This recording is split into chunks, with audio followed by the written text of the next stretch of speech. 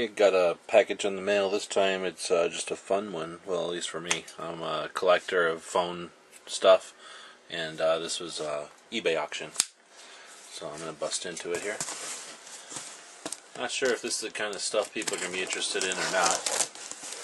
So we like to play around and have fun. We'll see if uh, this is interesting to anyone. And it's a a vintage butt set, as you probably saw in the description of the video.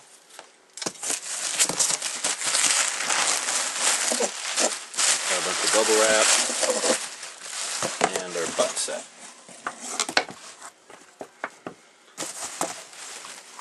No instruction manual or anything. But a box I can reuse if I need to send somebody something.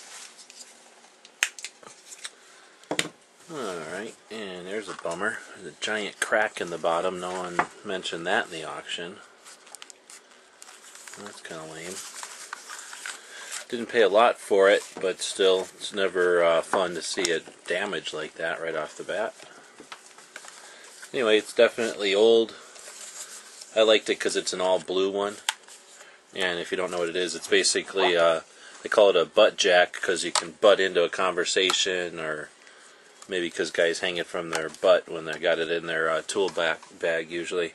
But um, you got these alligator clip type of gizmos that are going to connect to your uh, basically your crazy phone box outside your house or up on a telephone pole. And this is again for a technician to get in there and uh, work on a telephone. It gives them a quick telephone. And you can monitor a line with it or you can make phone calls. Pretty fun.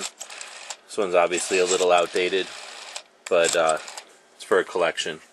Wish I wouldn't have got one with a giant crack in it, but again, it's not like I'm using it. So I don't know if anybody's interested in phone stuff, but it's one of my hobbies, and this is uh, an expensive uh, one from eBay.